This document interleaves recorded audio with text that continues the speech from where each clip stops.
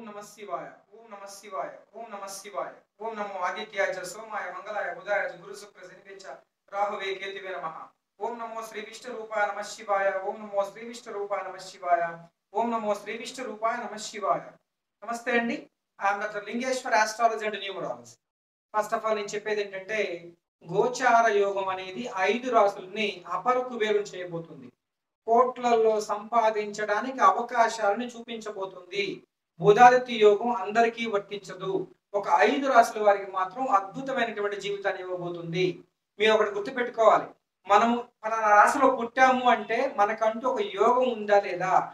గోచారంలో ఎలా ఉంది? గ్రహచారంలో ఎలా ఉంది? మన జన్మ జాతకం ఏం చెబుతుంది? దీన్ని మనం ప్రాంప్ట్గా ప్రామాణికంగా తెలుసుకోగలిగితే తప్పకుండా బుధాదిత్య యోగం అనేది వ్యక్తిగత జాతకుడికి అద్భుతమైన జీవితాన్ని ఇస్తుంది. మామూలుగా బుధుడు ఏం చేస్తాడు? బేసిక్గా డబ్బు ఇస్తాడు. తెలివితేటలు ఇస్తాడు ఐడియాలజీ ఇస్తాడు. బుధుడు అంటేనే ఒక వ్యాపారం బుధుడు అంటేనే డబ్బుకు సంబంధించినటువంటి వ్యక్తి. బుధుడు అంటే తెలివితేటలు అన్నమాట జ్ఞాన ప్రదాత అని చెప్తుంది జ్యోతిష్యం. బుధుడు లేకుండా లెక్కలు నెంబర్లు అసలు ఉండనే ఉండవండి.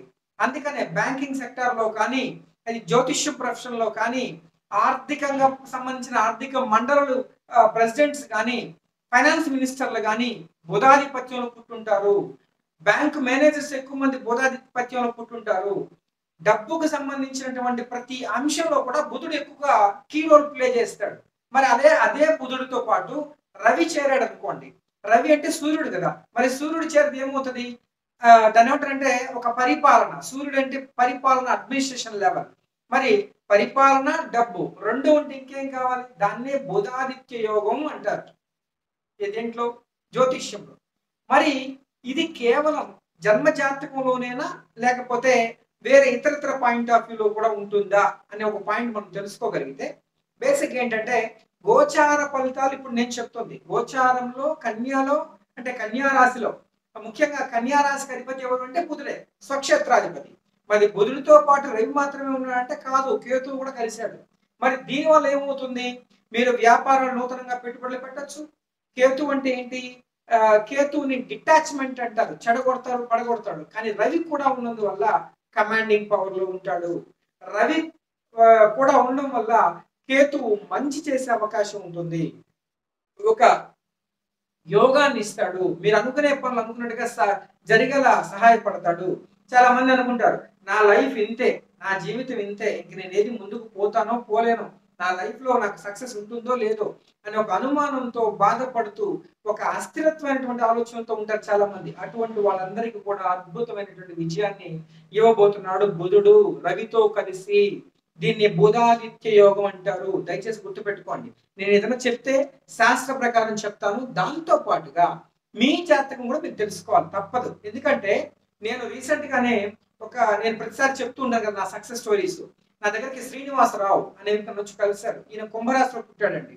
కానీ కుంభరాశి వాళ్ళకి కూడా గోచారం అద్భుతంగా ఉంది. గత వన్ అండ్ హాఫ్ ఇయర్ నేను చెప్తున్నాను.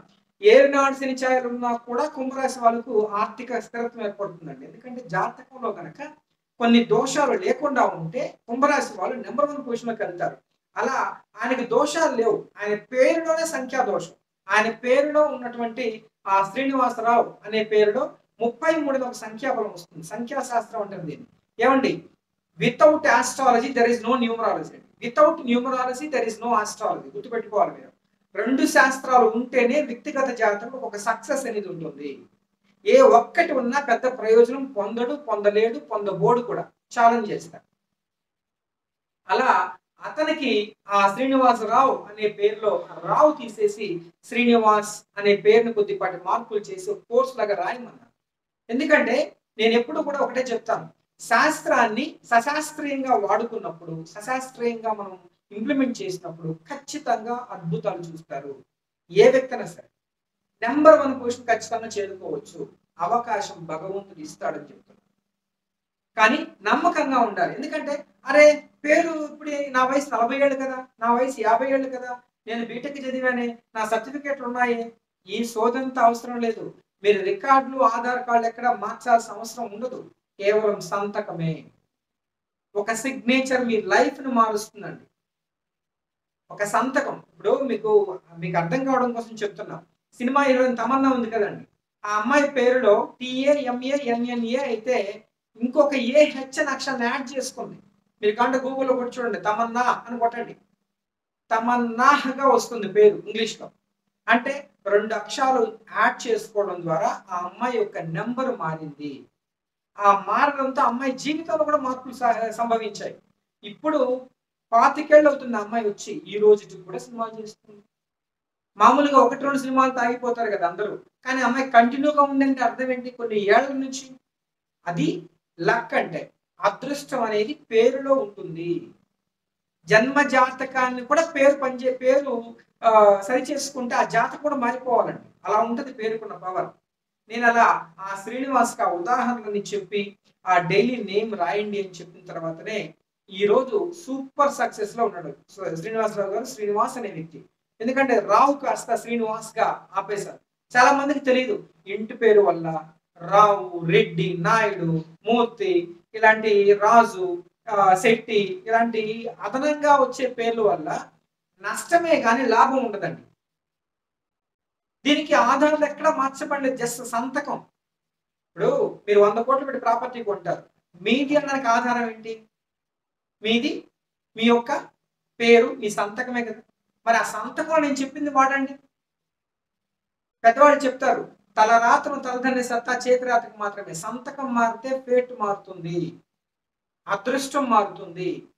మీరు ఏ ఏ సమస్యలను ఉండండి. విత్ ఇన్ డేస్లో మార్పులు ఉంటాయి. కానీ ఆయనకి ఇంకో చిన్న పాయింట్ కూడా నేను చెప్పడం జరిగింది. ఆయనకి లగ్న స్థితికారకుడు శని భగవానుడు రెండులో ఉన్నాడు. సో రెండులో ఉన్నప్పుడు ఆయనకు ఒక చిన్న పూజ కూడా ఒకటి చెప్పాను. ఎందుకంటే శివారాధన చాలా అవసరం అండి. కొన్ని కొన్ని జాతకులకి లగ్నాధిపతి బాగలేకపోయినా లగ్న ద్వితీయ ద్వితీయాధిపతి బాగలేకపోయినా పంచమ భాగ్యాధిపతి సరిగా లేకపోయినా లేదా ఆ అధిపతులు కాస్త నీచపడి ఉన్నా శివారాధన ఖచ్చితంగా చేయాలి శివాష్టకాన్ని పఠించాలి శివాలయంకి వెళ్ళి కొన్ని ప్రదక్షిణలు చేయాలి శివాలయంలో దీపారాధన చేసి తీరాలి.